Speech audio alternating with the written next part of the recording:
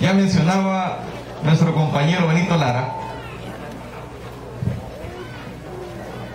que se ha hecho un esfuerzo con los pocos recursos que se tienen, compañeros y compañeras, vecinos, vecinas de esos tres cantones y también de otros cantones que nos acompañan en algunas directivas, viendo que en realidad estas tres comunidades van a tener agua potable.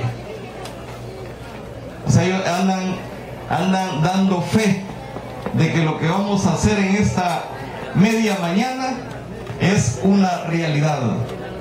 A pesar de las dificultades económicas que encontramos al gobernar tanto el gobierno central como la alcaldía municipal de Panchimalco.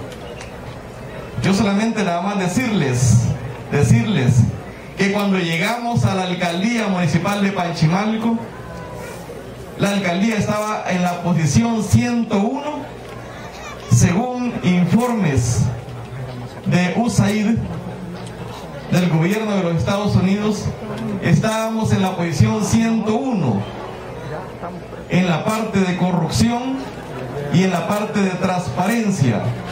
O sea que era un municipio que tenía índices altos de corrupción y de falta de transparencia.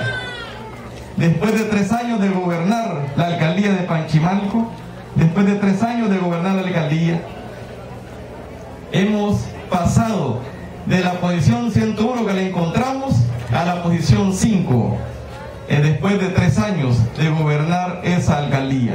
¿Qué significa eso? De que hemos bajado el índice de corrupción y de transparencia. No sé si me explico en esta cuestión. Estábamos en la posición 101 de los 262 municipios, estábamos en la posición 101 y ahorita nos encontramos en la posición 5, después de tres años de haber tomado la rienda de la alcaldía municipal de Panchimalco. Eso es gracias al esfuerzo de ustedes, porque si ustedes no nos hubieran permitido gobernar la alcaldía de Panchimalco, estuviera en una corrupción todavía más grande de la que se encontró en aquel momento. Entonces por eso nuevamente les pido un fuerte aplauso para cada uno de ustedes.